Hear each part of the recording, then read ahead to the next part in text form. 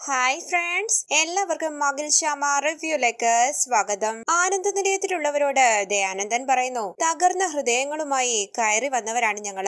നിറഞ്ഞ സന്തോഷത്തോടെ മടങ്ങുക. ഈ കുടുംബത്തിനു വേണ്ടിയുള്ള പ്രാർത്ഥനകൾ മാത്രമേ ഞങ്ങൾക്ക് നന്ദിയായി നൽകാനുള്ളൂ. വർമ്മ പറയുകയാണ് മനുഷ്യർ തമ്മിൽ തമ്മിൽ നന്ദി പറയേണ്ട കാര്യമില്ല മാഷേ. നന്ദി ദൈവത്തിനോട് മാത്രം പറഞ്ഞാൽ മതി. ഞാൻ എനിക്ക് വേണ്ടി പ്രാർത്ഥിക്കുമ്പോഴല്ല ദൈവം എന്നെ അനുഗ്രഹിക്കുന്നത്. ഞാൻ മറ്റുള്ളവർക്ക് വേണ്ടി പ്രാർത്ഥിക്കുമ്പോഴാ ദൈവം എന്നിൽ പ്രസാദിക്കുന്നത്. നിങ്ങൾ എനിക്ക് വേണ്ടി പ്രാർത്ഥിക്കുമെന്ന് എനിക്ക് നന്നായിട്ട് അറിയാം നമുക്ക് ജീവിക്കുന്ന കാലം അത്രയും സന്തോഷമായിട്ടിരിക്കാം മാഷേ. അങ്ങനെ സന്തോഷത്തോടുകൂടി വർമ്മ ദയാനന്ദനെ കെട്ടിപ്പിടിക്കുകയാണ്. കണ്ണു നിറഞ്ഞ് പുഞ്ചിരിച്ചുകൊണ്ട് ദയാനന്ദനും വർമ്മയെ കെട്ടിപ്പിടിക്കുന്നു. ശേഷം ദയാനന്ദൻ പറയുന്നു അങ്ങനെ വളരെ സന്തോഷം നിറഞ്ഞ ഒരു ദിവസം കടന്നു പോകുക. കുറെ കാലത്തെ കോർക്കാൻ ചില നല്ല ഓർമ്മകൾ. വർമ്മ പറയുന്നു ഞങ്ങൾക്കും അങ്ങനെ തന്നെയാ. ഞങ്ങളുടെ ശ്യാമയുടെ കുടുംബം പോലെയാ നിങ്ങളെയും ഞങ്ങൾ കരുതിയിരിക്കുന്നത്. വാസുദേവനും ദേവകിയും വന്നു പോകുമ്പോഴുള്ള അതേ ഫീലിംഗ് ആണ് നിങ്ങൾ പോകുമ്പോഴും ഞങ്ങൾക്കുള്ളത്. ദയാനന്ദൻ പറയുന്നു. അത് ഞങ്ങൾക്ക് മനസ്സിലായല്ലോ സാറേ. കമല പറയുകയാണ്. അപ്പോ ഞങ്ങൾ ഇറങ്ങട്ടെ. വർമ്മ പറയുന്നു. പിന്നെ ഇവിടെ ഈ കല്യാണം പ്രമാണിച്ച് അർച്ചനയ്ക്ക് കൊടുക്കാനായി ഞങ്ങൾ എല്ലാവരും തന്നെ ചെറിയ ഗിഫ്റ്റുകൾ കരുതിയിട്ടുണ്ട്. ആദി ഇത് കേട്ട് വിശ്വസിക്കാനാകാതെ മുഖത്തോട് മുഖം നോക്കുകയാണ് അർച്ചനയും ശ്യാമയും. ആദ്യം ഒരു കവറെടുത്ത് വർമ്മയുടെ കയ്യിലേക്ക് കൊടുക്കുമ്പോൾ അതുമായി വസുന്ധരാമയുടെ അരികിലേക്ക് വന്ന വർമ്മ പറയുന്നു വസു നീ ഇത് കൊടുക്ക്. അപ്പോൾ വസുന്ധരാമ പറയുകയാണ് ഇത് ക്യാഷ് അല്ലേ? ദയാനന്ദൻ മാഷിന്റെ കയ്യിൽ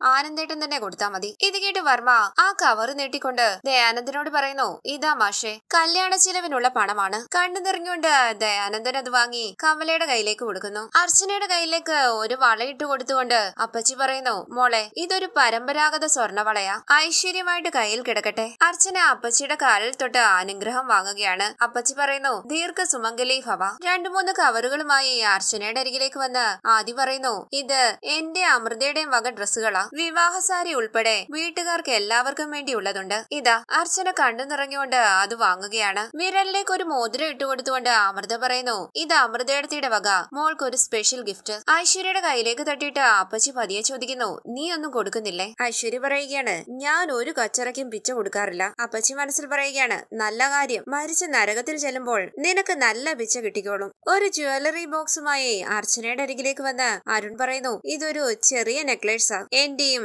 ഐശ്വര്യയുടെയും വക. കണ്ണു നിറഞ്ഞ സന്തോഷത്തോടുകൂടി അർച്ചന അത് വാങ്ങുന്നു. ആ നെക്ലേസ് കമലയുടെ കയ്യിലേക്ക് കൊടുത്ത് ആനന്ദവർമ്മയുടെ കാലിൽ തൊട്ട് അനുഗ്രഹം വാങ്ങുകയാണ് അർച്ചന. തലയിൽ കൈവച്ച് അനുഗ്രഹിച്ചുകൊണ്ട് വർമ്മ പറയുന്നു നന്നായി വരും. ശേഷം വസുന്ധരാമയുടെ കാലിൽ തൊട്ടും അർച്ചന അനുഗ്രഹം വാങ്ങുന്നു. തുടർന്ന് കരഞ്ഞുകൊണ്ട് കയ്യിൽ പിടിക്കുകയാണ് അർച്ചനയും ശ്യാമയും. കണ്ണു നിറഞ്ഞുകൊണ്ട് ദയാനന്ദൻ പറയുന്നു ഇനി നിന്നാൽ ഞാൻ പൊട്ടിപ്പോകും സാറേ. അങ്ങനെ ദയാനന്ദൻ എല്ലാവരുടെയും മുന്നിൽ കൈതൊഴുതിട്ട് പുറത്തേക്ക് പോകുമ്പോൾ പിന്നാലെ പോകുകയാണ് അനൂപും കമലയും. അർച്ചനയും ചേർത്ത് പിടിച്ചുകൊണ്ട് ശ്യാമയും ആനന്ദ നിലയത്തിലുള്ള എല്ലാവരും. തുടർന്ന് കാറിന്റെ അരികിലേക്ക് വന്ന അനൂപ് പറയുന്നു എന്നാൽ ഇറങ്ങട്ടെ. ശരിയെന്ന് വർമ്മ പറയുമ്പോൾ പൊട്ടിക്കരഞ്ഞുകൊണ്ട് എല്ലാവരുടെയും മുന്നിൽ കൈകൂപ്പുകയാണ് അർച്ചന. എന്താ അർച്ചന ഇതെന്ന്? അഖിൽ ചോദിക്കുമ്പോൾ ശ്യാമയുടെ കയ്യിൽ പിടിച്ചുകൊണ്ട് അർച്ചന പറയുന്നു എന്റെ കൂട്ടുകാരി ശ്യാമ. ഇവൾ എനിക്ക് എല്ലാം തന്നു. എല്ലാം. അങ്ങനെ ശ്യാമയുടെ കയ്യിൽ പിടിച്ച അർച്ചന പൊട്ടിക്കരയുമ്പോൾ കരഞ്ഞുകൊണ്ട് അർച്ചനയെ കെട്ടിപ്പിടിക്കുകയാണ് ശ്യാമ. ഇത് കണ്ട് എല്ലാവരും വിഷമത്തോടുകൂടി നിൽക്കുമ്പോൾ ഐശ്വര്യ ദേഷ്യത്തോടുകൂടി നിൽക്കുന്നു. കരയല്ലേ എന്ന് പറഞ്ഞ് ശ്യാമ അർച്ചനയുടെ കണ്ണീര് തുടയ്ക്കുന്നു. അഖിലിന്റെ മുന്നിൽ കൈകൂപ്പിക്കൊണ്ട് അർച്ചന പറയുന്നു നന്ദി സാർ. വാദം പറഞ്ഞ് അർച്ചനയെ കാറിലേക്ക് കയറ്റുകയാണ് ശ്യാമ. ശേഷം അവരെല്ലാവരും അവിടെ നിന്ന് പോകുന്നു. പിന്നീട് കാണിക്കുന്നത് ശ്യാമ സാരികളൊക്കെ എടുത്തു വെക്കുകയാണ്. പെട്ടെന്ന് കണ്ണന്റെ വിഗ്രഹത്തിലേക്ക് നോക്കി അതെടുത്ത് ശ്യാമ പറയുന്നു എന്റെ കണ്ണ അഖിൽ സാർ സംസാരിച്ചത് നീയും കേട്ടതല്ലേ? നിന്നെ ഞങ്ങൾ പൂക്കളും കളർ ലൈറ്റും ഒക്കെ കൊണ്ട് അലങ്കരിക്കാൻ പോകുക ഇനി ഭക്തിയുടെയും പ്രാർത്ഥനയുടെയും നാളുകളല്ലേ കടന്നുപോയിക്കൊണ്ടിരിക്കുന്നത്. ഈ സമയം വാതിലിന്റെ അരികിലേക്ക് വരുന്ന ഐശ്വര്യ മറങ്ങി നിന്ന് ശ്യാമയെ ശ്രദ്ധിക്കുകയാണ്. ശ്യാമ പറയുന്നു ഈ നാളുകളിൽ പതിവിലേക്കാളേറെ നിന്നെ ഞങ്ങൾ ഒരുക്കും. മൂന്ന് നേരം നിന്നെ വിളിക്കും പ്രാർത്ഥിക്കും. കാരണം എന്താണെന്നറിയുമോ? നീ ചെറിയ ഉപകാരങ്ങളൊന്നും അല്ലല്ലോ. എനിക്കും എന്റെ അഖിൽ സാറിനും ഈ കുടുംബത്തിനും ഒക്കെ ചെയ്തുകൊണ്ടിരിക്കുന്നത് ഞാൻ എന്തു കാര്യം നിന്നോട് പ്രാർത്ഥിച്ചിട്ടുണ്ടോ? നീ അപ്പൊ തന്നെ അക്കാര്യം എനിക്ക് സാധിച്ചു തന്നിട്ടുമുണ്ട്. എന്റെ പ്രാർത്ഥനയ്ക്ക് ഒട്ടും വൈകാതെ ഉത്തരം നൽകുന്ന എന്റെ ഭഗവാനാണ് നീ. അർച്ചനയുടെ കല്യാണം വരെ ഭംഗിയായി നടത്തി കൊടുക്കാമെന്ന അച്ഛനും അമ്മയും ഏട്ടന്മാരും ഒക്കെ ഏറ്റത് എന്റെ പ്രാർത്ഥനയുടെ ഫലമല്ലേ കണ്ണ? കുറച്ച് പുതിയ പൂക്കളെങ്കിലും നിനക്ക് തന്നില്ലെങ്കിൽ അതൊരു വലിയ നന്ദികേടല്ലേ ഭഗവാനെ? ഇത് കേട്ട് ഐശ്വര്യ ചോദിക്കുന്നു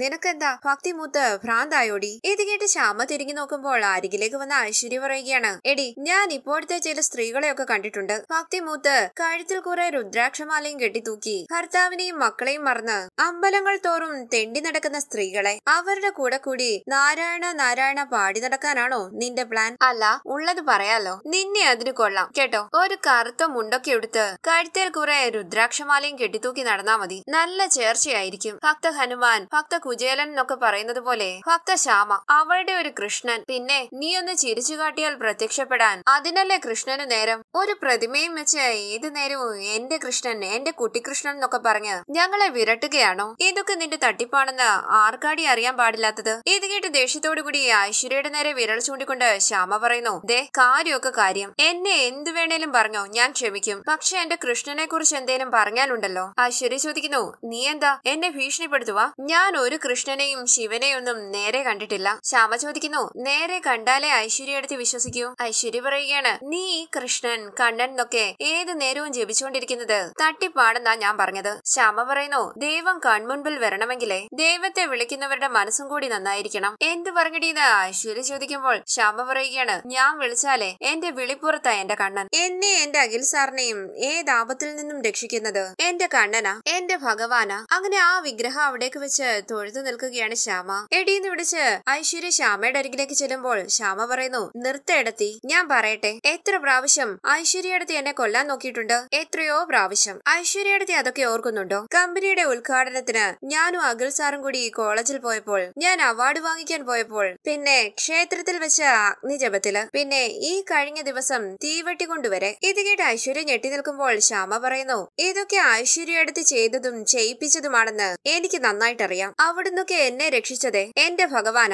എന്റെ കൃഷ്ണൻ. മനസ്സിലായോ ഐശ്വര്യടത്തേക്ക് എന്നെ എന്തെങ്കിലും ചെയ്താൽ ചോദിക്കാൻ അഖിൽ സാറിന് മുമ്പേ എന്റെ ദൈവം വരും. എന്റെ ഭഗവാൻ കൃഷ്ണൻ. ഇത് കേട്ട് തലകുനിച്ച ഐശ്വര്യ അവിടെ നിന്ന് പോകുമ്പോൾ പുഞ്ചിരിച്ചുകൊണ്ട് തന്റെ കൃഷ്ണന്റെ വിഗ്രഹം എടുത്ത് നോക്കി നിൽക്കുകയാണ് ശ്യാമ. തുടർന്ന് ടെൻഷനോടുകൂടി ആലോചിച്ചു നിൽക്കുന്ന ഐശ്വര്യ ഓർക്കുകയാണ് ശ്യാമയുടെ വാക്കുകൾ. അർച്ചനയുടെ കല്യാണം വരെ ഭംഗിയായി നടത്തി കൊടുക്കാമെന്ന അച്ഛനും അമ്മയും ഏട്ടന്മാരും ഒക്കെ ഏറ്റത്. എന്റെ പ്രാർത്ഥനയുടെ ഫലമല്ലേ കണ്ണ? എത്ര പ്രാവശ്യം ഐശ്വര്യടുത്ത് എന്നെ കൊല്ലാൻ നോക്കിയിട്ടുണ്ട്. അവിടുന്നൊക്കെ എന്നെ രക്ഷിച്ചതേ എന്റെ ഭഗവാനാ എന്റെ കൃഷ്ണൻ. തുടർന്ന് ഐശ്വര്യ മനസ്സിൽ പറയുന്നു എല്ലാ കാര്യങ്ങളും അവൾ വിചാരിക്കുന്നത് പോലെയാ വരുന്നത്. അവളെ ഒരു തരത്തിലും തോൽപ്പിക്കാനും പറ്റുന്നില്ലല്ലോ. ഷേ അവൾ എന്നും എനിക്കൊരു വെല്ലുവിളിയാ. എപ്പോഴൊക്കെ ഞാൻ തോൽപ്പിക്കാൻ ശ്രമിക്കുന്നുവോ അപ്പോഴൊക്കെ അവൾ ഇരട്ടി ശക്തിയോടെ ജയിച്ചു വരുക ഈ ദൈവത്തിന്റെ ശക്തി എന്ന് പറയുന്നത് വെറുതെയല്ല അവളുടെ കൃഷ്ണനാ അവളുടെ ശക്തി. ആ കൃഷ്ണൻ ഇവിടെ നിന്നില്ലാതായാൽ അവളെ ഒതുക്കാം. കൃഷ്ണൻ പോയാൽ അവളുടെ ശക്തിയും പോകും. ശരിയാക്കി തരാം. അതിനുശേഷം കാണിക്കുന്നത് റോഡ് സൈഡിലേക്ക് വണ്ടി നിർത്തി ഇറങ്ങുകയാണ് അഖിലും ശ്യാമയും. അഖിൽ ചോദിക്കുന്നു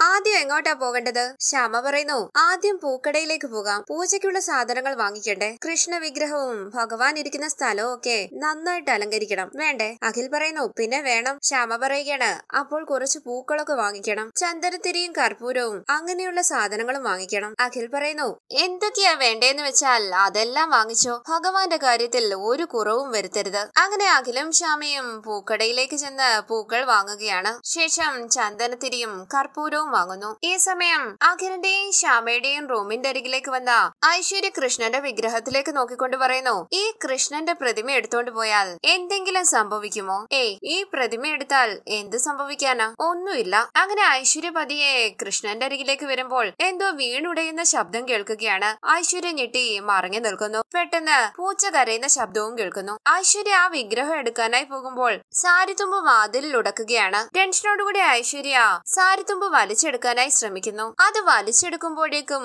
അതിന്റെ തുമ്പ് കീറുകയാണ്. ഐശ്വര്യ മനസ്സിൽ പറയുന്നു ആരെങ്കിലും തടഞ്ഞതാണോ എന്നെ? ഏയ് എന്റെ തോന്നലായിരിക്കും. അങ്ങനെ ഐശ്വര്യ ആ കൃഷ്ണ വിഗ്രഹം എടുക്കാനായി തുടങ്ങുമ്പോൾ തല കറങ്ങുന്നതായി തോന്നുന്നു. തുടർന്ന് ഐശ്വര്യ മനസ്സിൽ പറയുന്നു ഏയ് ഒന്നുമില്ല. ഞാൻ വെറുതെ ഭയപ്പെടുന്നതാ. ഈ സമയം കറണ്ട് പോകുകയും ഫാൻ കറങ്ങുന്നത് നിൽക്കുകയുമാണ്. ഐശ്വര്യ വീണ്ടും കൃഷ്ണ വിഗ്രഹം എടുക്കാനായി തുടങ്ങുമ്പോൾ കറണ്ട് വരികയും ഫാൻ സ്പീഡിൽ കറങ്ങുകയുമാണ്. പെട്ടെന്ന് ക്ലോക്കിൽ മണിയടിക്കുന്നു. ഇതെല്ലാം കണ്ട് ഐശ്വര്യ ഭയന്ന് നിൽക്കുമ്പോൾ ഇടിമിന്നൽ ഉണ്ടാകുകയും വീണ്ടും കറണ്ട് പോയി ഫാൻ ഓഫ് ആകുകയുമാണ്. തുടർന്ന് തലയിൽ അടിച്ചുകൊണ്ട് ഐശ്വര്യ പറയുന്നു ഞാൻ എന്തൊരു മണ്ടിയാ. ഈ സമയം പൂക്കളും മറ്റും വാങ്ങിച്ച് റോഡ് സൈഡിലൂടെ നടന്നു വരികയാണ് അഖിലും ശ്യാമയും. ഐശ്വര്യ പുഞ്ചിരിച്ചുകൊണ്ട് കൃഷ്ണ വിഗ്രഹം എടുക്കുമ്പോൾ ശ്യാമയുടെ പിന്നിലേക്ക് വന്ന ഒരു കാറ് ശ്യാമയുടെ ദേഹത്ത് തട്ടുകയും ശ്യാമ റോഡിലേക്ക് വീഴുകയും കയ്യിലിരിക്കുന്ന പൂക്കളെല്ലാം തെറിച്ചു പോകുകയുമാണ്. ഇത് കണ്ട് ഞെട്ടി അഖിൽ ആ കാറിലേക്ക് നോക്കുന്നു. ഭയന്നിരിക്കുന്ന ശ്യാമയുടെ കയ്യിൽ പിടിച്ചുകൊണ്ട് അഖിൽ പറയുന്നു ശ്യാമ എഴുന്നേൽക്ക്. ഒന്നും പറ്റിയില്ലല്ലോ. ഒന്നും പറ്റിയില്ല എന്ന് പറഞ്ഞ് ശ്യാമ അവിടെ നിന്ന് എഴുന്നേൽക്കുന്നു. ഈ സമയം ആ കാറ് അതിവേഗത്തിൽ അവിടെ നിന്ന് പോകുകയാണ് ഐശ്വര്യ